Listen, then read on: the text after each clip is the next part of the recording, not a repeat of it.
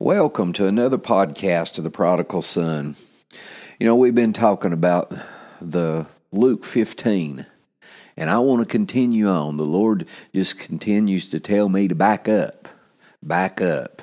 But first, my prayers for all of us, the world that we live in, for all of us, my prayers come out of Paul's prayers for the Ephesians. Ephesians 1:15 says ever since I first heard of your strong faith in the Lord Jesus and your love for God's people everywhere I have not stopped thanking God for you. I pray for you constantly, asking God, the glorious Father of our Lord Jesus Christ, to give you spiritual wisdom and insight so that you might grow in your knowledge of God. I pray that your hearts will be flooded with light so that you can understand the confident hope He has given to those He called, His holy people, who are His rich and glorious inheritance. I also pray that you will understand the incredible greatness of God's power for us who believe Him. This is the same mighty power that raised Christ from the dead and seated Him in the place of honor at God's right hand in the heavenly realms. Now He is far above any ruler or authority or power or leader or anything else, not only in this world, but also in the world to come. God has put all things under the authority of Christ and has made him head over all things for the benefit of the church. And the church is his body. It is made full and complete by Christ, who fills all things everywhere with himself. Ephesians 3:14 says, "When I think of all this, I fall to my knees and pray to the Father, the creator of everything in heaven and on earth. I pray that from his glorious unlimited resources, he will empower you with inner strength through his spirit. Then Christ will make his home in your hearts as you trust in him." Your roots will grow down into God's love and keep you strong, and you may have the power to understand, as all God's people should, how wide, how long, how high, and how deep His love is. May you experience the love of Christ, though it is too great to understand fully. Then you will be made complete with all the fullness of life and power that comes from God. Now, all glory to God who is able through his mighty power at work within us to accomplish infinitely more than we might ask or think. Glory to him in the church and in Christ Jesus through all generations, forever and ever. I pray this in Jesus' name. Amen. You know, I thank God that He has opened my eyes to His love, and I pray today that the world's eyes would be opened. You know, I pray that every day for myself also. You know why? Because I want my eyes to always, to always be concentrated, be focused on His love and His mercy, and to see more of it every day. I thank God for that opportunity that He has given me to, to know His love. And I, that's my prayers for the world that we live in today, that, that the world would see and understand just how much God loves them. Glory to God. Let's see what God's Word has to say today. Father, I thank you and I praise you, God, for your word. Guide me. Use me for your honor and your glory. Lord, touch my mind, touch my mouth. Help me be the light that I should be in this world that we live in. Lord, I praise you and I thank you for all you're doing in this podcast. Lord, I praise you for the partners and the and the people that that that support this podcast to help us send your word out. I pray Mark 10, 29 and 30 over them today. A hundredfold return on everything that God that they sow into this ministry. Lord, I praise you and I thank you for all you're doing all you have done and all you're going to do. In Jesus' holy name I pray. Amen. You know, we've been in Luke 15 for the last couple of days. Three days, I think. Oh, maybe just two. But anyway, the Lord has dealt with me to back up again and start with the 13th verse of Luke 15. So, Luke 15 13. It's, it says, And not many days after the younger son gathered all together and took his journey into a far country, and there wasted his substance with riotous living. And when he had spent all, there arose a mighty famine in that land, and he began to be in want. And he went and joined himself to a citizen of that country, and he sent him into the fields to feed swine. Now, I want to talk to you about something today, and that is don't go to the world. Do you understand what I'm saying? Don't expect the world to be easy on you. Don't go to the world. This young man, and I'll talk more about it tomorrow, but this young man, he, uh, when he when he became in want, instead of instead of going home, going to his father, he went to the world. And I'll talk more about how he how he got in this position to start with tomorrow. But but today we want to talk about what what he's seen and understood. Now, there's not a doubt in my mind if you go through this this scripture, you see that this young man thought he had messed up beyond help because he when he when he finally came to himself what we were talking about a couple of days ago he he he he had decided in his own heart that he was going to go home and be a servant for the rest of his days. He didn't expect his father to accept him back into his home and to love him like the son that he was. But he looked to the world. Don't expect the world to be easy on you. Now I've I've I went through a lot of what this young man went through, not materially but spiritually. When I came when I came back to the Lord and and asked him to forgive me, I I was in such a dire strait spiritually, bankrupt spiritually. Had the world had drawn everything that it could out of me that had to do with God. I, ha- I had went that far. But the, but the funny thing of it was, the wonderful thing, I should say, that about this whole situation of mine, when I come home, God didn't expect me to grovel at His feet. And when I read this scripture, I understood that. He didn't expect me to grovel at His feet. He loved me. He never brought up my past. A lot of people did. a lot of people won't won't ever let you forget your past. But God, he he don't want he don't he don't care about your past. He he care he cares about your repentance. And when you repent, it's over with him and there's there'd be a lot of people do it would be do them good to do the same thing about themselves, let alone anybody else. But what I want you to understand is this young man, he went to the wrong place. He when he began he when he be, began to be in want, instead of going home to a loving father, he ran to the world expecting them to help him. And all this, all the world done was stuck him out in a field to starve, feeding animals that that uh, his hold his whole uh, race of people wouldn't even wouldn't dare eat. Do you understand? It says he would have gladly eaten the husk that he was feeding to those pigs. And and when you when you when you grasp what this young man was going through, uh, you know, he he he didn't have to unnecessarily going to. He didn't have to go that place. He didn't have to, and he finds that out later.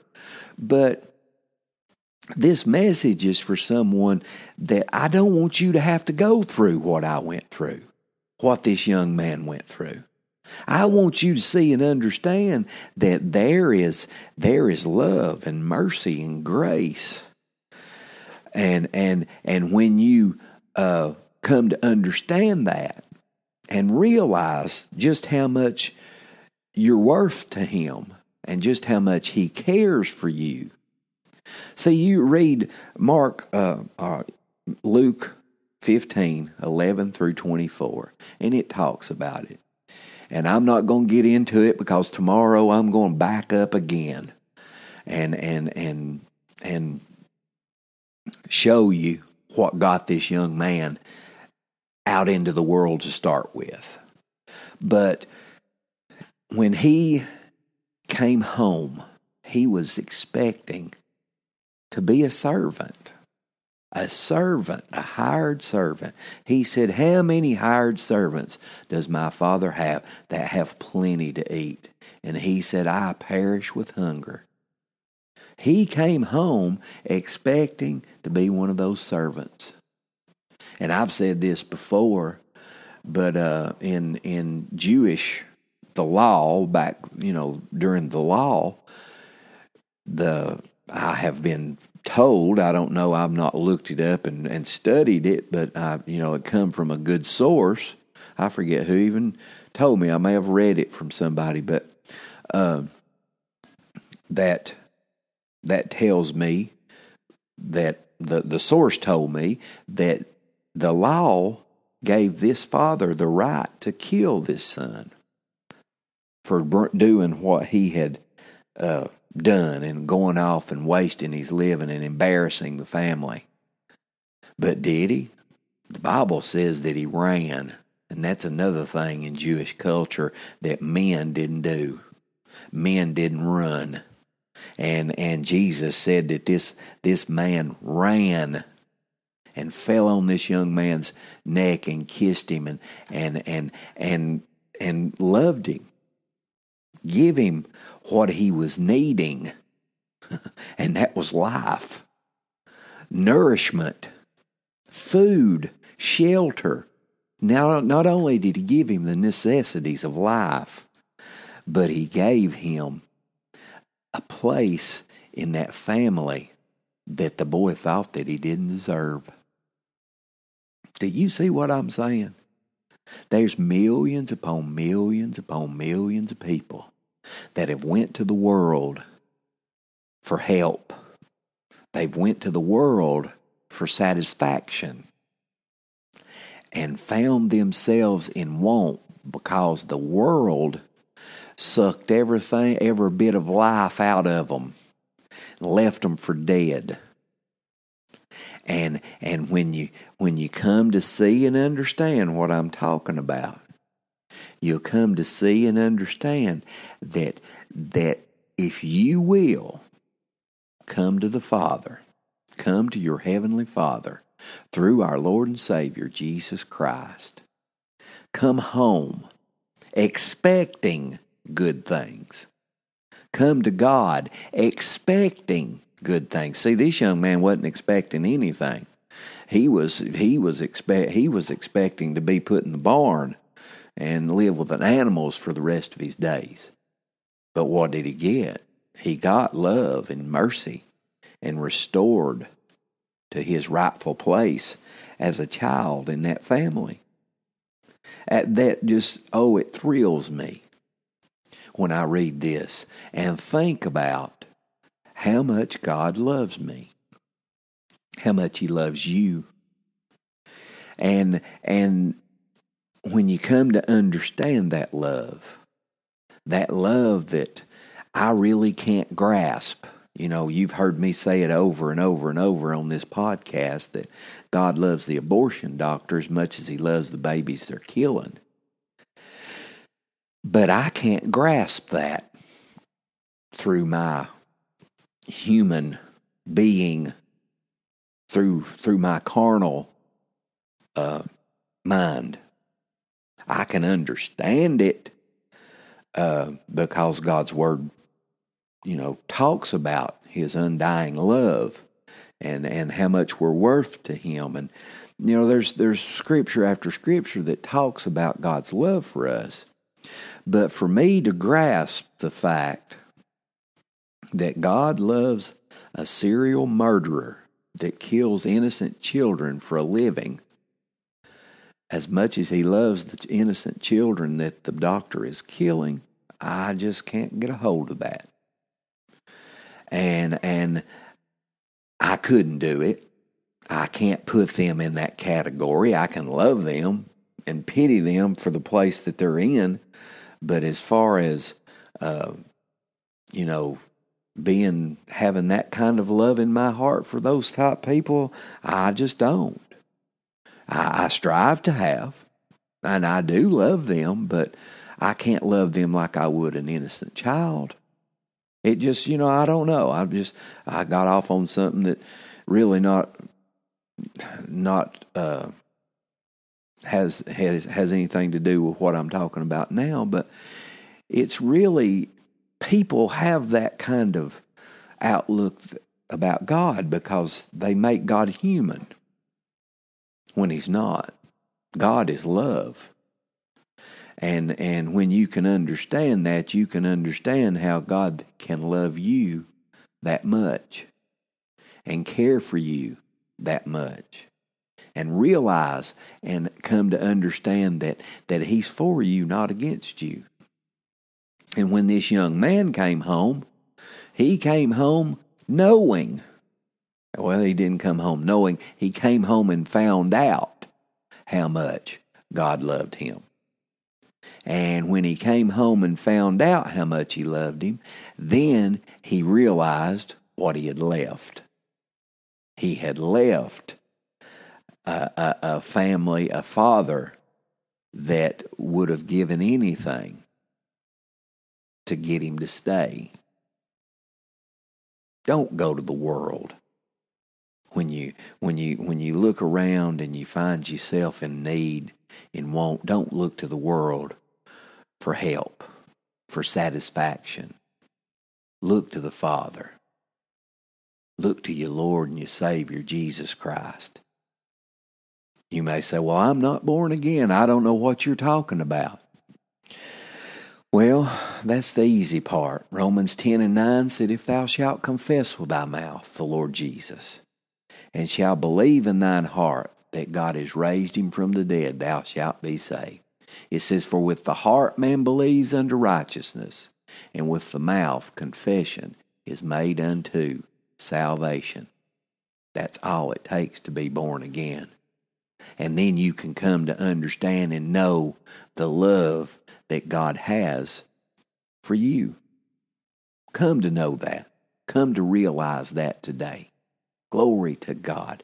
I thank God for the opportunity that He give me to know and understand just how much He loves me and this world. Glory to God. Make Jesus Christ Lord of your life today. Don't go to the world for help. The world can't satisfy. Come to Him. If you are born again, get in His Word.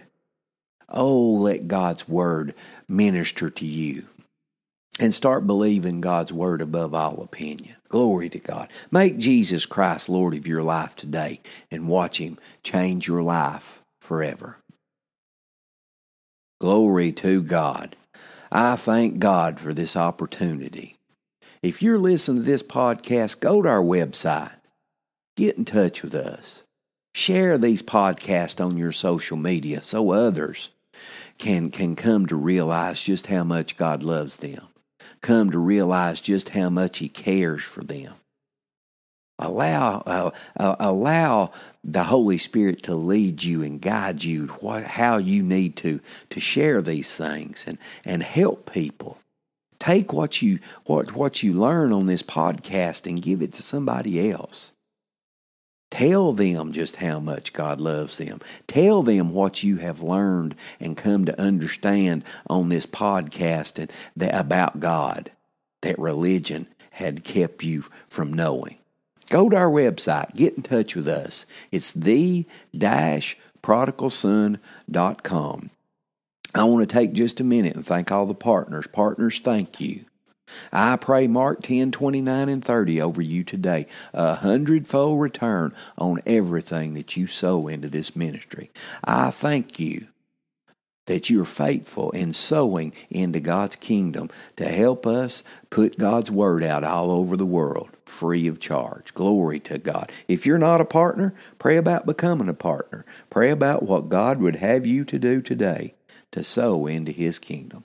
Go to our website. Get in touch with us. It's the prodigalson.com.